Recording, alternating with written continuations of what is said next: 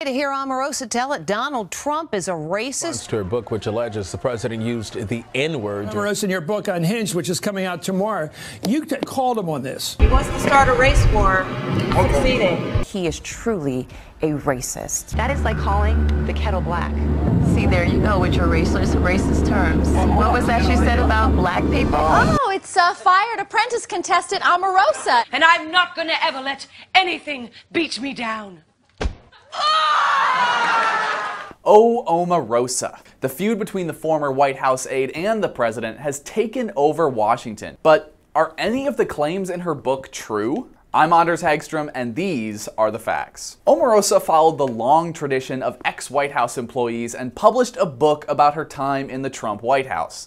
Unsurprisingly, she claims to have some dirt. She says she heard Trump drop the N-word and use a racial slur against Kellyanne Conway's Filipino husband. There's only one problem. Both people she said Trump insulted are denying it ever happened. Omarosa sourced the N-word claim back to pollster Frank Luntz, who allegedly heard Trump use it when he was making The Apprentice. Except Lutz himself says the claim is, quote, flat out false, and that he's never heard Trump say anything like it. And this made Omarosa change her story, claiming again that she'd heard the tape herself. You went out and you actually heard the tape. I did. So either she's lying now, or she's admitting her book doesn't tell the real story. Then there's Trump allegedly using two slurs to deride George Conway's Filipino background. Conway himself says the claim is, quote, absurd, and that any suggestion Trump used the slurs is preposterous. It seems clear now that Omarosa's Unhinged is a lot like Michael Wolff's Fire and Fury. Lots of claims, but few facts. You don't get it.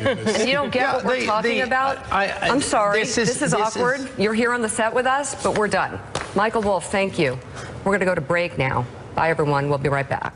I think if people want an actually reliable report on what goes on inside the Trump White House, you should wait for Bob Woodward's swing at it this fall. Until then, the media needs to stop jumping all over blatantly false cash grab books just so they can make Trump look worse for a few hours. And now let's go to some of your comments. Oh, bike lock guy. Okay. Steve Smitten comments on our bike lock professor video from last week. He posted a link to a page called Quotes from Capitalists that inadvertently provide support for communism. Well, Steve, communism certainly can't support itself.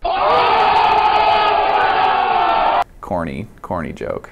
Newton Laxton and Matt Hunsaker say that the bike lock professor didn't hit enough people. Newton says he still hasn't hit the right one yet. I assume, Newton, you're talking about Donald Trump. Are, are you one of these people? What would you do if Donald Trump showed up at the truck? Murder him? We'd have to do him like Gaddafi. I'd piss on his leg. Dennis Kozak says someone should post this guy's name and address so he starts looking over his shoulder for his approaching bike lock. Well, Dennis, doxing people is bad. Don't dox people. Be sure to like us here at the DCNF Presents the Facts and our friends over at American Voices and the Daily Caller. Thanks for watching.